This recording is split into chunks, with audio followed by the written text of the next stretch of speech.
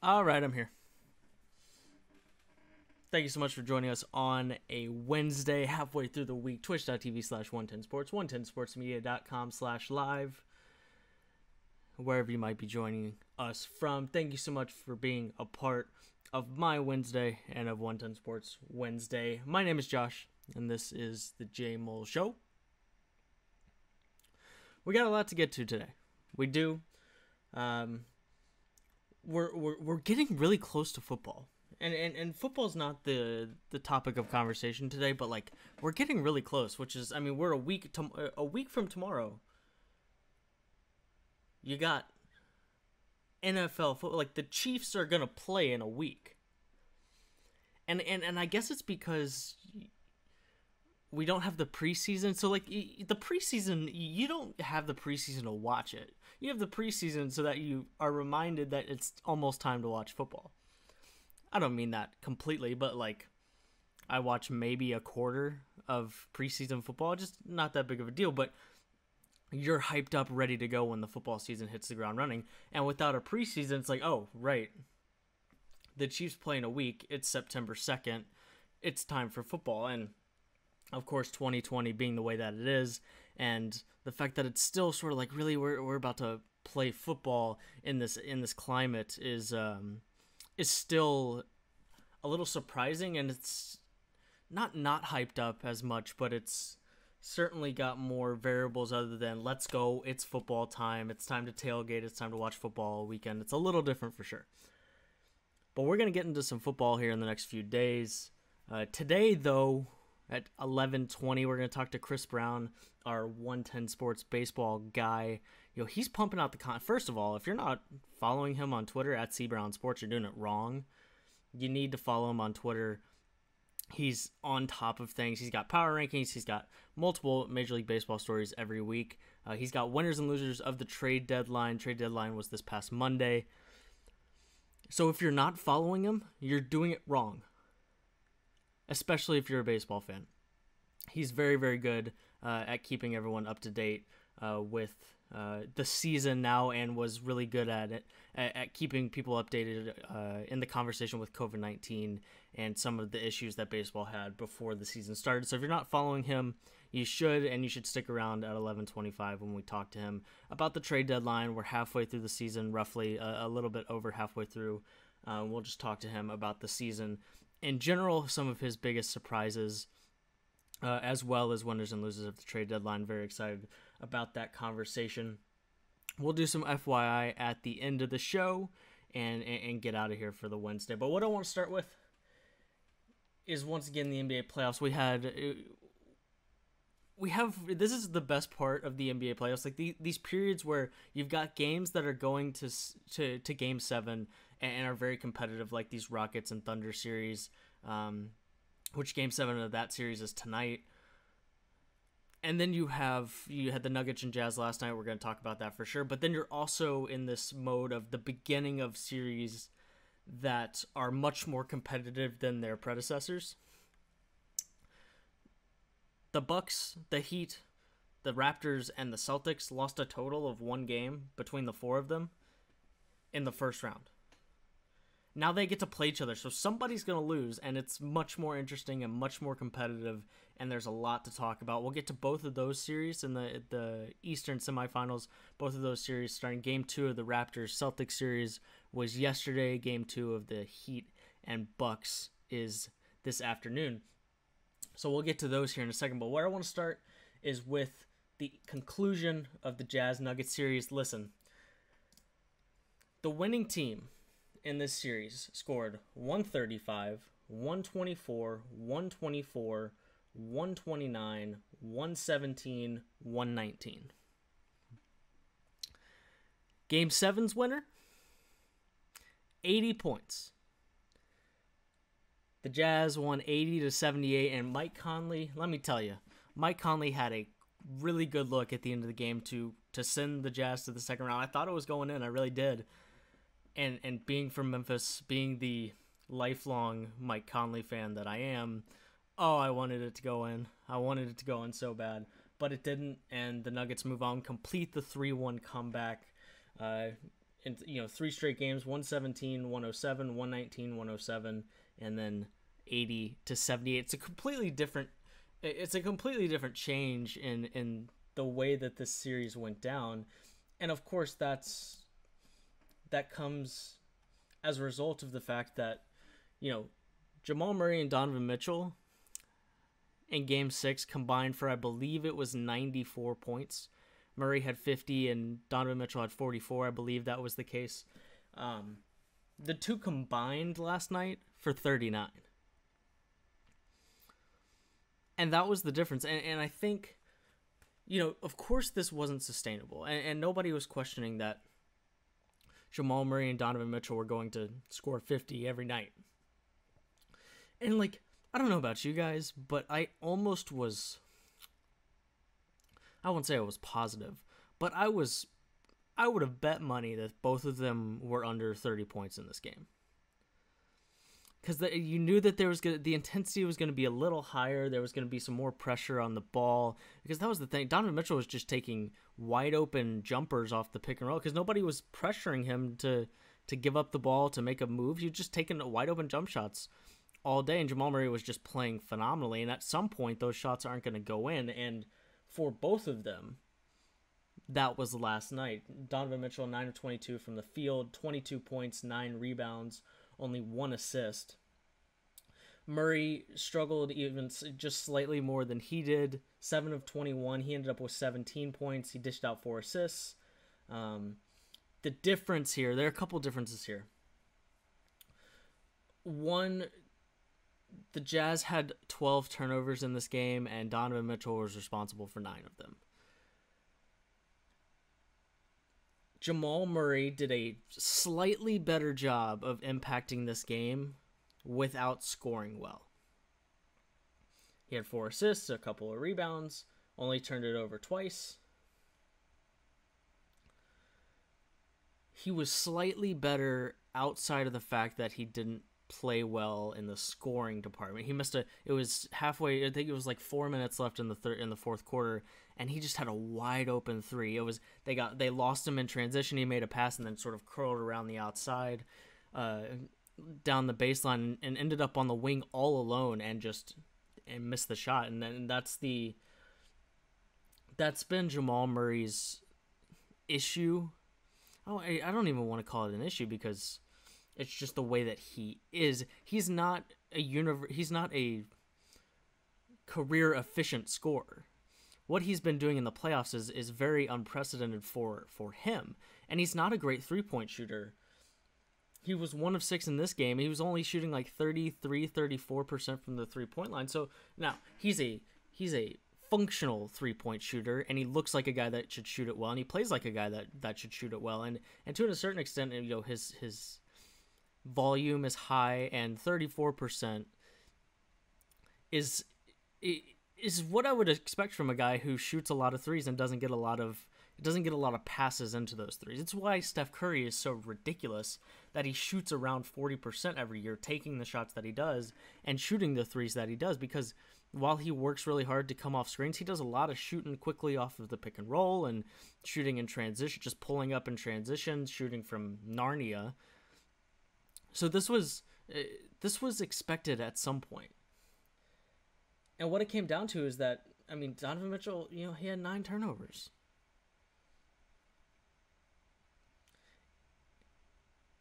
Murray hit some big shots down the stretch. For sure. So he stepped up uh, right, you know, late in the game when they needed a bucket and they definitely did that but but the difference, the ultimate difference in this game and and the reason, one of the reasons why originally I thought the Jazz had no chance in this series was after Donovan Mitchell, you're not really sure who the next guy is. It could be Mike Conley. Mike Conley had a he, he really struggled in this game. Was two of thirteen from the floor and one of six from the three point line after playing really well in the first in the three games his first three games back.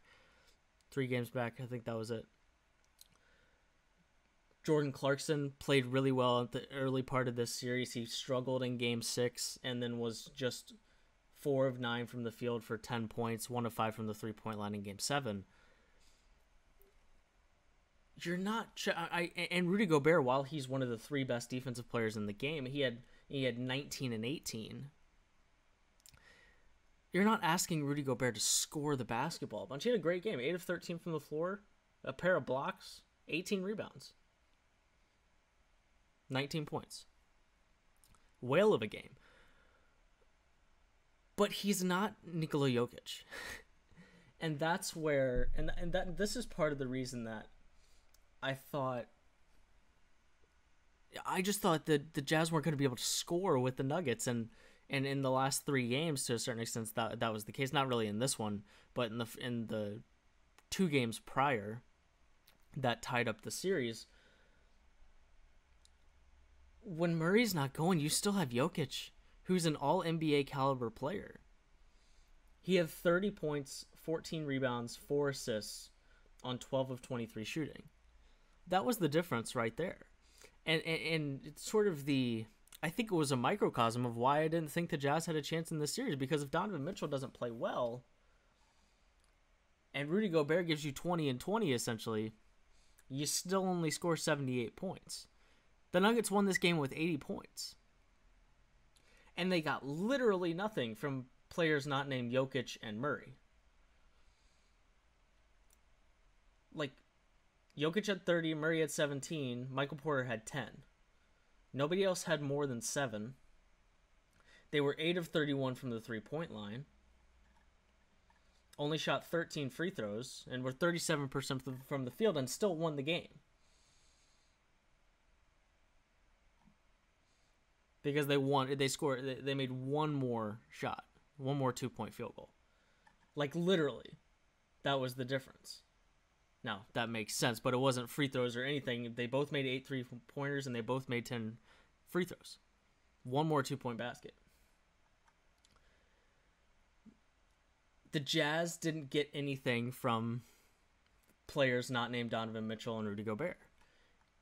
And the Nuggets didn't get anything from players not named Murray and Jokic, but they just got more from Jokic because he's so much more dynamic on the offensive end than Rudy Gobert is and that's essentially what this came down to. And and, and I didn't think that we'd see a full stop in the offense to the tune of eighty to seventy eight.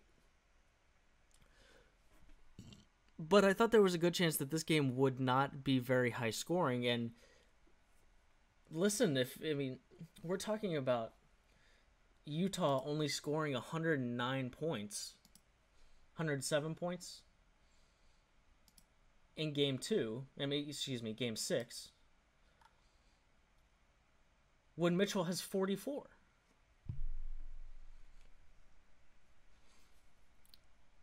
I like I'm not entirely sure like it makes a lot of sense that they really struggled to score and only scored 78 points when Mitchell wasn't elite and Conley struggled. Conley was was a pretty consistent 20 since he came back from the birth of his child. With that being said, the mutual respect at the end of that game between Donovan Mitchell and, and Jamal Murray was very cool to see. Those are two guys that are going to be around for a long time. And before we, we move on to the East, we need to relax about this Dwyane Wade, Donovan Mitchell conversation, at least for like one more year. Like one more year, maybe. Like, uh, like I'm all for it. I really am and and Donovan Mitchell possesses a lot of the things that I think Dwyane Wade possesses, but we're talking about an all-timer in Dwyane Wade, one of the best shooting guards ever. And it, and it, it might be more disrespectful to Dwyane Wade than it is respectful to Donovan Mitchell. He's great, but he's in year 3. Let's take a deep breath and come back to this in a little while. Just just give it a little while longer. A little while longer. Dwyane Wade came into the NBA in 2003. I believe. Yes, he was the number 5 uh, he was the 5th pick in 2003. He won an NBA championship in 2006. That means that next year Donovan Mitchell needs to win a title. He's not going to win a title next year. He was the NBA Finals MVP in 2006.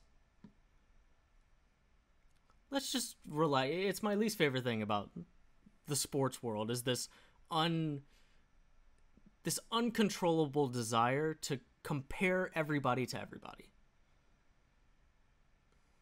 Let's just relax. Why don't you give Donovan Mitchell his chance to be Donovan Mitchell before you try to make him Dwyane Wade? Because I guarantee you, if you ask Donovan Mitchell what he thought about the comparisons to Dwyane Wade, he would say, "I'm I'm flattered, but I'm trying to be Donovan Mitchell. I'm not trying to be Dwyane Wade." Donovan Mitchell's not going out there trying to be Dwyane Wade. We're trying to make him Dwyane Wade. Just leave him alone. Let him be Donovan Mitchell. Instead of fueling this desire instead to connect him to Dwyane Wade. It's just unnecessary, so we should we should stop doing it. On the Celtics side of things, it was another day. I mean, six of sixteen Siakam. Did I say who did I say? Did I say Celtics? This Celtics Raptors series. Siakam six of sixteen for seventeen points. Lowry five of sixteen for sixteen points. VanVleet eight of twenty-two for nineteen points. Kyle Lowry and Fred VanVleet combined for three of 19 from the three point line. Celtics, big guys. Jayson Tatum, 34 on 8 of 17 shooting, 14 of 14 from the free throw line. Six rebounds, eight rebounds, six assists. Kemba Walker, 17, 6 and 4. He had a, a, a not as great shooting night, but still. Marcus Smart, 6 of 11 from the three point line. If he's shooting like that, the series is over. If he's going to come in and give that kind of production on the offensive end of things, the series is over. Jaylen Brown, 16. He had a a, a not great night either as well. But 16 8 and 2. You got I mean, Robert Williams is torching. I don't think Robert Williams has missed in this series yet. He was 5 of 5 last time. I'm pretty sure he was 5 of 5 in game 1. I'm looking. Yes, Robert Williams is 10 of 10 from the field. He's missed more free throws in this series than field goals.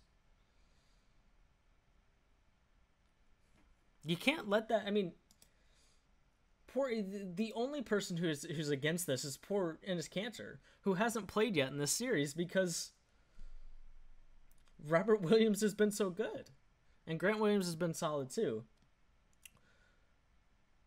But man, this is just. I mean, this is exactly. Boston's three biggest players, Toronto's biggest three players. Boston's biggest three players have been better in almost every way in both games. And it was even more striking in game one. I mean, game one was never close, and that was why. Was never close.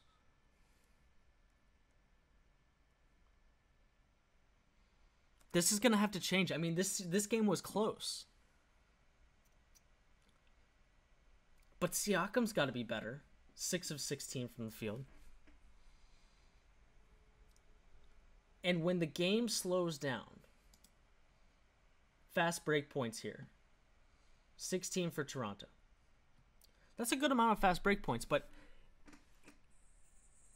they have to be able to score in the half court.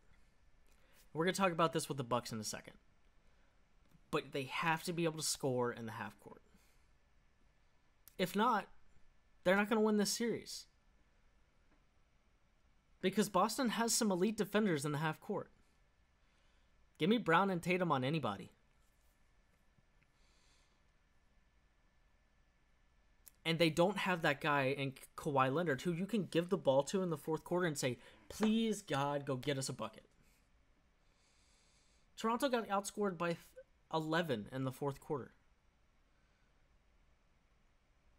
32 to 21. And they lost by 3. When the game slows down, the team that executes in the half court better, and, in, and a lot of times meaning the guy who's the best at getting his own shot. The guy with the team with the guy that's best at getting his own shot, i.e. Kawhi Leonard, i.e. Jayson Tatum, i.e. Jimmy Butler, is going to have the edge in late in playoff games. they're gonna have to find a way to score better in the half court. Because Boston wasn't, I mean, they shot 15 of 38 from the three point line. They were better in that category and better from the free throw line. But you're not going to shoot 40% against the Celtics and win a series. It's not going to happen. Miami Heat, 115 104. Jimmy Butler, 40 points on 13 of 20 shooting. A gamer. I still have my reservations about whether or not Jimmy Butler can be the best player on an, on a championship team. Especially a team like this where like there's a lot of young players. I mean, Bam Bam 12, 17 and 6, but there's just not I mean, Dragic Dragic has played phenomenally in the playoffs. He had 27 again last night. But when your second 25 point guy is just a little bit up in the air, I'm not sure how I feel about Jimmy Butler leading you to a championship, but here's the thing about Jimmy Butler. Jimmy Butler is a big shot taker, a big shot maker, and can create his own shot in the half court when things are slow.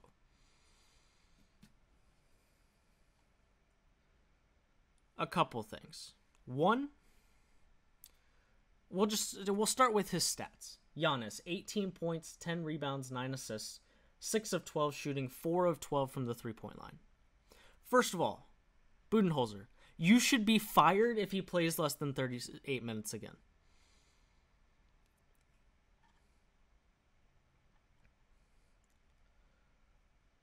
Why is he only playing 37 minutes? This Bucks team is not better than the Heat outside of Giannis and maybe Khris Middleton. The Heat are better almost in every other category. Not on the defensive end, but Giannis has to be on the floor for longer than that. He can't be on the bench for a quarter of these games. That's essentially what it was 48 minutes in an NBA game. He was on the bench for 11 of them. Why? He's one of the most in shape people in the NBA. He's only played, what are we at now? 13, 14 games in the last six months. Why is he only playing 37 minutes per game? It's ridiculous. It's absolutely ridiculous. Put him on the freaking floor. On the other side of things, it's Giannis didn't get any better in the places he needed to get better to be harder to guard in the playoffs. The Bucks won the fourth quarter or the first quarter by 11. They had eight fast break points. Giannis was very good because he was in transition the entire time. He was getting to the rim. He was finding Kyle Korver in transition. He was great. Phenomenal. But when the game slows down, Giannis is a guy who can't shoot the three and can't shoot free throws. Four of twelve from the three from the free throw line. He missed more free throws than shots. Jimmy Butler, 100% from the three point line, 13 of 20 from the field, and 12 of 13 from the free throw line. Jimmy Butler was the best player on the floor in game one. If that continues, this series is over quickly. Giannis has to be the best player on the floor, and more importantly, he has to be the best player on the floor in the fourth quarter. And he wasn't. Not even kinda. He has to be better. Has to be better. He was non existent in the fourth quarter. Like one of six.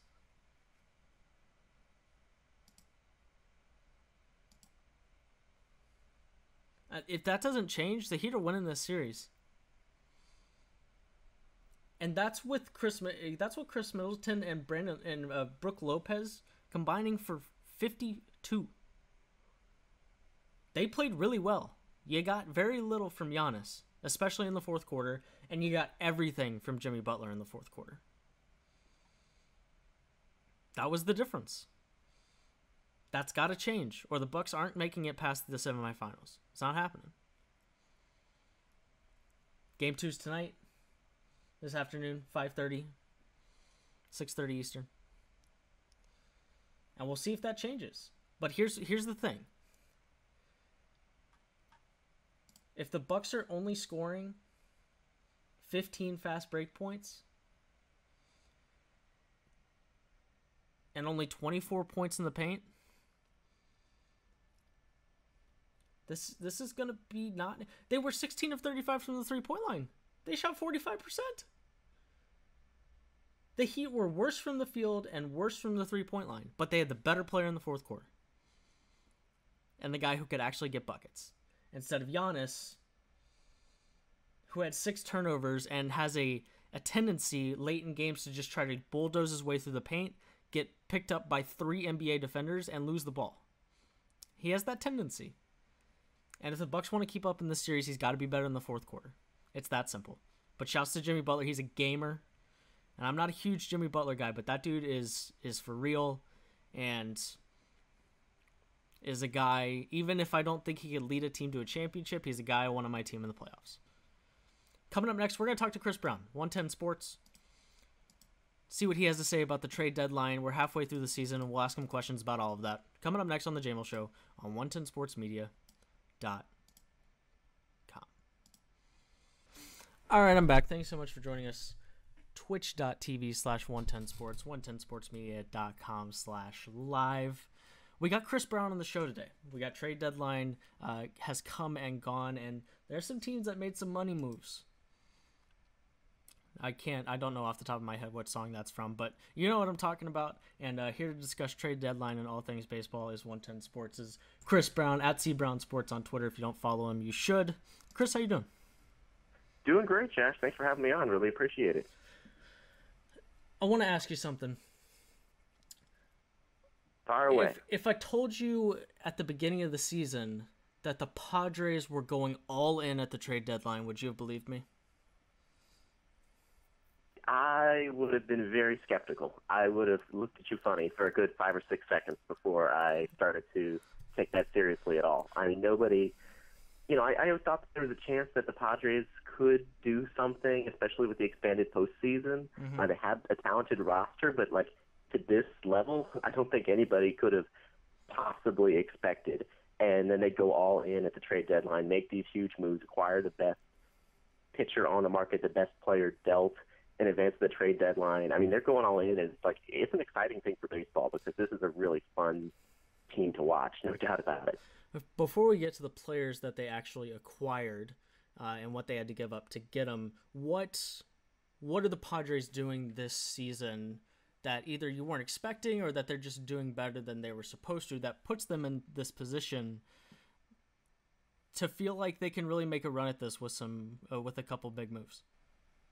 Yeah, so I mean, first of all, I mean, there's you know, I don't don't think you can start a conversation about the Padres without first talking about what we've seen from Fernando Tatis junior mm-hmm. I mean, the guy has been, I would say, probably the best all-around player in baseball this season. I mean, there's there's competition from a couple other guys, but he's been incredible. I mean, he's hitting 313. He's getting on base four out of ten times. He's stealing bases. He's hitting home runs. He's you know playing elite defense. I mean, he's a really energizing force and one of the best young players in baseball. So that's that's obviously a, a huge part of it. Uh, they're also getting great production out of Manny Machado, uh, a guy who people may have, you know, I don't want to say forgotten about, but a guy who, you know, went to uh, San Diego and his numbers had never really haven't really been the same since he left Baltimore. But mm-hmm. this year he's he's you know tearing it up at the plate, 11 homers, he's hitting 300. Uh, so you combine those two players on the left side, and uh, they've got the NL Rookie of the Year front runner in Jake Cronenworth, the second baseman who nobody had ever really heard of. Uh, mm-hmm. He's the NL front, uh, NL Rookie of the Year front runner. Mm-hmm. Uh, they've got really that talent. Uh, there's been some, you know, inconsistency on the pitching side, uh, particularly in the bullpen, and that's something that they addressed at the deadline a little bit. Um, and you know, Wil Myers also having a rebound year in the outfield. So really, it's just an Eric Hosmer at first base. There's just enough hitting talent there in particular uh, that that could have gone multiple ways. That that just enough guys firing on all cylinders and have found another level uh, sort of bringing the Padres to a point that uh, I don't think anybody expected. So you've got you've added you know Mike Clevinger of course, which is the the big one, and, and really the you know every every season pretty much there's there's that move that says, oh yeah that team they're going for it. This is this is something they're trying to win a World Series. They're trying to really contend this year. And this year, the Padres going in getting Mike Clevinger was was part of it. They also added, you know, as you've mentioned in some of your stories, they've they've shored up all of the other places it, where they were weak. They added some catching. They added some DH uh, in Mitch Moreland. Part A of the question is what was this Padres ceiling without these moves, and what is their ceiling now with with some of these areas of weakness really shored up? Yeah, so I mean, I think without the moves, this was still a really good baseball team, and one that could certainly. I mean, they're going to make the postseason uh, for the first time in several years, and you know, it, this was a great team without those moves. But I think what these moves do is sort of make them a real World Series caliber team. Now, I mean, I don't know if they're going to make it, of course. Um, you know, they're going to have to, you know, get through the Dodgers to right. probably to win the NL uh, win the National League. But this sort of short in, in shoring up those those areas, particularly in adding Clevinger, that that real ace that they didn't have, it makes this team, in my mind, a potential World Series contender. Mm-hmm. It they're just very much well rounded. I mean, you look at the more well rounded now. I mean, you look at the top teams in the National League, and you know, in particular the Dodgers. There's there's very few holes mm-hmm. in that roster and you know they have the starting pitching, they have the great offense, and, and from what we've seen from the Padres this year, there's reason to believe that that offense is going to continue to be great with Tatis, Machado, Hosmer, Cronenworth, Myers, so many bats in that lineup now. Moreland. Um, so we knew that that offense was probably going to be great the rest of the way, but they didn't have that that game one starter to go out there and oppose mm-hmm. Clayton Kershaw or somebody else to really uh, deliver with that huge performance. They have some intriguing arms, but not that sort of veteran presence who they know can go out there and be that stopper for them in that big game. And that's what they got in Clevinger. And so now I think they really have the ability to go out there and make a deep postseason run, uh, deep run in October. You know, I, I think that's with this sort of short postseason series. Now you've got three guys. You start with Clevinger, then you've got Dinelson Lamet and, and Chris Paddack, and you've got three guys that you really feel good about throwing on the mound in a, in a short series when you need to win two out of three games and, and, and honestly you know to nobody's fault but a, a quite a fluky uh, three game series i mean bad teams sweep good teams in three game series in the middle of the regular season all the time so shoring up that that side of things is certainly is certainly a good thing for the Padres. Do you think this is the kind of thing that solidifies their their place in baseball for the next couple years, or is this a is this a let's win now and worry about what what might happen next later? I think it's a little bit of both, uh, because aside from Trevor Rosenthal, who is a rental for the rest of the season, then he'll become a free agent. Most of the guys they acquired have uh, some years of control uh, coming up, especially Clevinger. That's, of course, being a big one. He's under team control mm. through 2022. Gotcha. So that's not just their ace for this year, that's their ace for the next two to three years, and they've got some incredible pitching prospects coming up. Uh, you add in some of the additions of the, the catchers that they have are not necessarily just a this year thing either. They're under control for a few more years. So mm I think it's a little bit of both. It's them seeing an opportunity to, you know, look, we're really competitive now. We have a shot to make a run at this and you know we're, we're only a few moves away from from being that World Series caliber team. So they went out and made them, mm-hmm. but it also wasn't just a pure rental thing. Where I, I definitely see them being set up in a much better place, uh, particularly in that rotation with some of the prospects they have coming up and some of the other pitchers around Clevinger. Uh, for this to be a move that sets the Padres up to be successful in a way we haven't seen for the next several years. How do you feel about so so they didn't have to give up a lot of their major league baseball players to make the moves that they did. But as you mentioned in your winners and losers at 110sportsmedia.com, is they give up nearly a third of their top 30 prospects. How do you where do you stand on on that? I mean, you also mentioned here that this is something you should, you know, you can and should do when you get a chance to compete for a World Series like this. But where do you stand on on that on the risk and and the move of giving up a lot of your farm system to go get a World Series now or try to. Yeah, I, you know, I think it's it's sort of it's it's depends on the situation and what your farm system is and what you think your your window is. Mm-hmm. Because you know, if you're in a situation where you you know you don't have a really great farm system and you've got a couple top prospects and you know they could be they're really crucial for you that they kind of pan out because you don't have a lot of, depth in your farm system. then sort of trading away those guys for just rentals or, or just to really go mm-hmm. for it, and then all of a sudden your farm system's really depleted. I feel like that's often a mistake that's made. Um, but I feel like the Padres situation, the circumstances aligned where, you know, one, this is a team that hasn't been competitive in recent years, so it, you know, and all of a sudden they find themselves in a spot where it, you know, like they're in a position to really to make an impact, to make a deep postseason run. They have they had that kind of talent already on the roster, so so adding in a couple guys can really make a difference. Mm-hmm. And then you add in the fact that they had one of the top farm systems in baseball already. Mm-hmm. Uh, they had a top, I would, I think most rankings had them as you know like a top three, top five farm system already. Mm-hmm. Uh, so when you do that, then taking away a number of players from that, obviously it's a hit, but they're still going to have an above average farm system, uh, a good group of prospects um, left after that. Uh, and then you know, there's also you know, like you mentioned, there's there's risk involved. Um, but you have to kind of have that confidence. And general man, the general manager for the Padres, AJ Preller, has shown a willingness to go out and make these moves, to take these chances.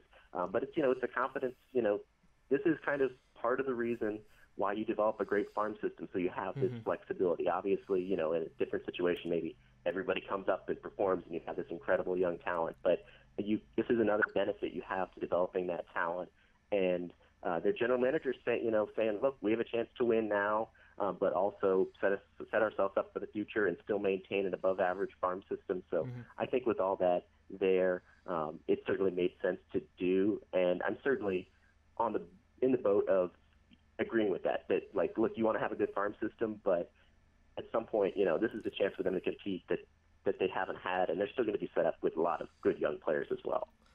I, I, suppose it's helpful that I mean you, you talk about the the left side of that infield with Manny Machado and, and Fernando Tatis Jr. That those are both still relatively young players. I mean Machado's 28, but you know you can still be knocking the cover off the the baseball well into your 30s. And Tatis, of course, is you know has been able to drink in this country for you know six months. So it's so it's not like you've got guys on the back half of their prime that you're trying to capitalize on. You're sort of going after it when you've got a guy like Fernando Tatis who is just destroying the league at the age of 21, which is not which you don't see all that often. So you've still got a lot of time and young players to build around if you don't end up getting a World Series with with these moves. So if I told you that you weren't allowed to pick the Padres, who is the who's your next winner at the trade deadline? Of course, it's the Padres, and like in the Western Conference the last five years, of course it was the Warriors that were going to come out. But if I made you pick a team that's not the Warriors or not the Padres,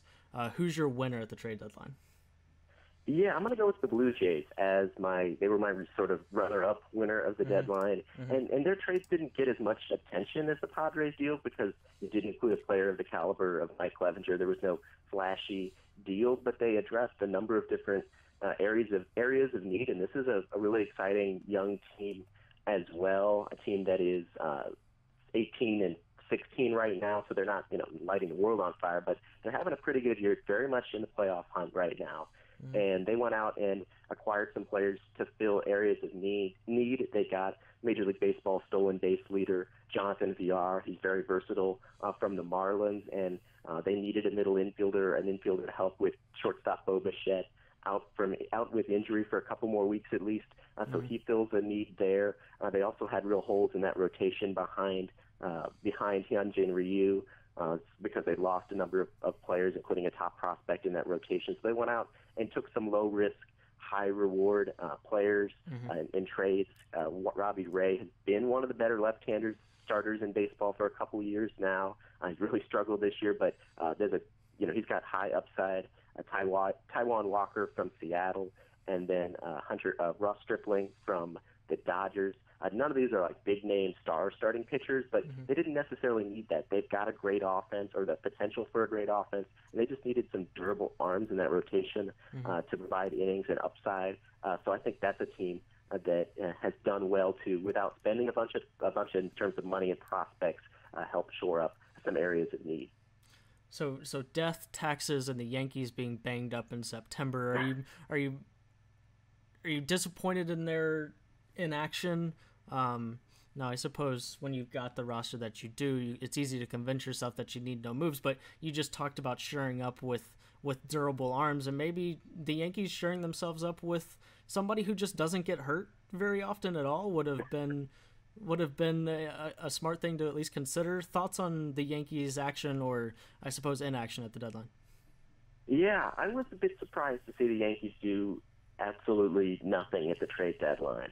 Obviously, like you mentioned, they're just incredibly banged up right now, uh, from Judge to Stanton to Torres to Paxton. Uh, so many guys sidelined right now, and that's something they they had a lot of injuries last year. This isn't you know a lot of injuries isn't necessarily a new thing for the Yankees, right. and they have a roster that's so deep and been great talent that they can afford that to some extent, to, you know to sort of wait that wait that out a little bit. But at the same time, they were a team that I was surprised left so much to chance. You know, mm-hmm. there's a chance that some of these players, as who are injured, come back and are big contributors down the you know down the final weeks of the season and in the postseason. But there's real risk in that because we only have a couple of weeks left before the postseason, really. Um, and some of these players, these injuries could could be pretty serious. They could pop back up again. And so right now, there's not a lot of starting pitching depth of great talent behind Gerrit Cole, of course, one of the best pitchers in baseball mm-hmm. at the top of the rotation. But um, with behind him, there's not a lot of there's not that incredible game two starter for them.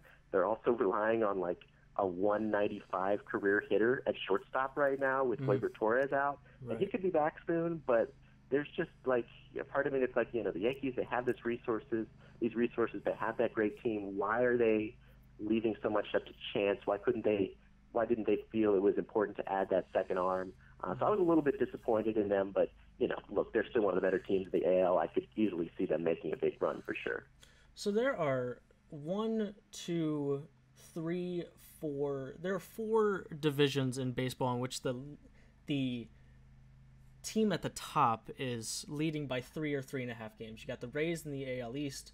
Um, the the Athletics in the AL West, the Braves in the NL East, and the Cubs in the NL Central. My question is, do those teams that are sitting pretty three and three three and a half games ahead of their uh, their opponents in, in their division, uh, does anybody get caught, or would you bet on those four teams that I just named to to win those divisions? Yeah, uh, let's see. I would say as far as the AL West, I would not be surprised to make, see the Astros make a run. Uh, they're a couple games back of the A's, mm-hmm. and the A's I think are a really great team. Uh, but I could see them losing their grip on that. Either way, they're making the playoffs, so to some extent it doesn't really matter. But right. I could see the Astros making a run there because after a really slow start, they're performing much more like the team that everybody expected them. Uh, the NL East also a division that's a bit wide open. I think the Braves are the best team there, but the Phillies uh, made some additions to their bullpen at the trade deadline. Uh, I could see them making a run. I, I still would bet on the Braves to win that division. I definitely would bet on the Cubs to win the NL Central. Uh, the rest of that division really hasn't been all that competitive. I mean, the Cardinals are one game over 500. Everybody else is below 500. The Reds, the Brewers haven't found any real success this year. Uh, so I'm still betting on the Cubs to win that one. The Dodgers are definitely not getting caught. In, right. I, mean, I believe even with the Padres moves, I mean, they're five games back. That's not insurmountable, but like, I don't see this. Even if the Padres go on a sensational run, which they could, I don't see the Dodgers, you know, dropping off that much. Right. So I think the Dodgers have the NL West. Uh, and I think the Cubs have the NL Central. Overall, I think the AL the division the, is where we could see some changes. Uh, the Yankees could make a run to be you know over the Rays who are really banged up, mm-hmm. um, and the Astros could make a run over the A's. But generally speaking, I think the playoffs are a lot more set right now than a lot of people might realize. Chris, it's always a pleasure, buddy. Uh, always enjoy talking baseball with you. Yeah, absolutely, Josh. I appreciate it. Thanks for having me on. That's Chris Brown, 110sportsmedia.com's baseball expert. He's great. At C Brown Sports on Twitter. If you're not following him, you should. It's it's a must follow in my opinion if you're a baseball fan and want to keep up with what's going on in that league. Coming up next, we'll do some FYI. I got a couple things I want to talk about. All right. Kirk Cousins being one of them. Well, we'll do that next on the JMull Show on 110sportsmedia.com. For your information, Kirk Cousins, I'm talking to you I know. It's a widely popular show, and I'm sure he'll be watching. But Kirk Cousins. So, first of all, let me give you some context. Kirk Cousins went, uh, talked to Kyle Brandt uh, on his podcast. Kyle Brandt, uh, Good Morning Football guy. It's uh, He's the host of 10 Questions on Spotify and The Ringer. He had Kirk Cousins on, spoke to him. And Kirk essentially said that masks are stupid. And then he went on this this speech about how if I die, I die. When it's my time, it's my time. You know, I don't think a mask is necessary. Okay. He said, survival of the fittest kind of approach, and just say if it knocks me out, it knocks me out. I'm going to be okay. You know, he said, I'd say I'm going to go about my daily life. If I get it, I'm going to write it out. That's cool. Whatever you want to do. But here's the thing, and here's the thing that, and, and I, am not going to talk about this for very long because I'm tired of talking about COVID 19. But here's the thing about what Kirk Cousins just said. And this is something that most people are failing to understand. You're not wearing the mask for you. You're wearing the mask for the people that are in the superstore with you. You're wearing the mask for the people who are also standing in line to get their coffee prior to work. You're wearing the mask for the people on the subway. You're wearing the mask for the people on the bus. You're wearing the mask for the people in the elevator with you. You're not wearing your mask for you. You wearing your mask is not going to stop you from getting COVID 19. That's not what it will do, though, is prevent you. First of all, Kirk Cousins saying that they're not necessarily is stupid because they're clearly and you know, look wherever you want. Everywhere it says that the masks help the transmission of the virus. But the mask is to keep the people around you safe. And that's what Kirk Cousins doesn't realize here. Whatever, you don't want to wear a mask eh, because you don't think like it's not helping you. That's the whole point. And why this is so hard is because people just don't look out for each other. Wear your mask so that the person next to you doesn't get sick. If you're sick and you don't know it. Because if you're sick and you don't know it but you're wearing a mask, you're the chances of you infecting somebody are much much lower. But if you're sick and you go into a superstore or you go into the or you go into into the team facilities and you breathe on somebody, you could get them sick. And even if you don't know you're sick, now Kirk Cousins not knowing he's sick is a much lower probability than than any non football player with how much they're getting tested. But but wear your mask because it's helping the people next to you. And just look out for each other. That's why you wear a mask. So that just in case you have it and you don't know it, you're able to keep yourself and others safe. People are other people are wearing their masks so they don't get you sick, and you're wearing your mask so you don't get other people sick. So try to have some put yourself in somebody else's shoes. If you don't care about getting it, fine. But somebody else who might have asthma or some other underlying condition that makes the virus much more deadly for them, they're not having they're not approaching it like that. They're also not the physical specimen that is required to be an NFL player. That's all I'm saying. But let's just try to look out for each other a little bit more than that, please. A little bit more than that. There are 26 different logos for the 28 LA Olympics. Organizers plan on using all 26 that they have received, with more expected over the next eight years. That's crazy, and and I can't. I, I, I could show you this, but I don't have it set up. It's got a, a lot of different A's in there for the LA. It, it's really cool. It is, but it, it's just it, it's making me laugh that there are so many different, so many different logos, from a group of artists, athletes, a chef, a fashion designer, designing a bunch of them for the 2028 Olympic Games. That's kind of funny. Um, it's not something that I would ex- expect to see, but uh, so you're gonna right now there are 26 Olympic logos for the 2028 LA Olympics, and then of course tomorrow, right here at 110sportsmedia.com slash live touchline talk with Josh Doring at 11 a.m. Eastern. And then you just heard him on this show. You'll hear him again tomorrow on his show, Chris Brown, Around the Bases, 1 p.m. Eastern. Both of those shows right here, 110sportsmedia.com slash live, twitch.tv slash 110sports. Thank you so much for joining us here on a Wednesday. Please take care of yourselves, take care of each other, and I'll see you guys back here 11 a.m. Eastern on Friday.